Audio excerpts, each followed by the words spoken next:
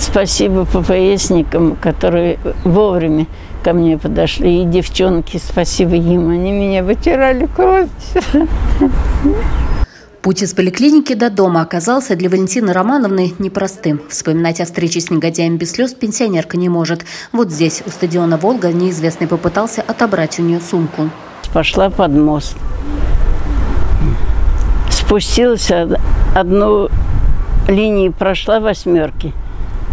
Во вторую, между столбов у меня хотели отнять сумку. Я не дала. Он еще раз дернул. На третий раз я упала. И он меня потащил по асфальту. В сумке у пенсионерки были деньги, медицинские справки и документы, за которые Валентина Романовна переживала больше всего. Злоумышленник отпустил свою жертву лишь когда увидел полицейскую машину и попытался скрыться. Двигались странные улицы Огородней.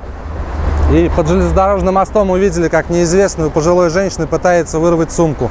Повалив ее на землю, так как она ее не отпускала, и тащил ее за собой. Привидев нас, он бросился бежать также в сторону улицы Огородней, перебежав дорогу. Бросил машину там, напарник начал разворачиваться, побежал ему на пересечение, чтобы его догнать. Вот.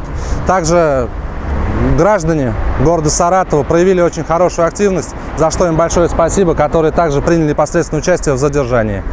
И потом уже привели всех, оказывали доврачебную помощь бабушке до приезда медиков. Прохожие не остались безучастны, помогли привести женщину в чувство и оказали содействие в задержании подозреваемого. 35-летний обидчик пенсионерки сетовал, что остался без работы и потому поднял руку на пожилого человека. По данному факту возбуждено уголовное дело. Эллада Абжалимова, Анатолий Чернов. Дежурная часть «Саратов».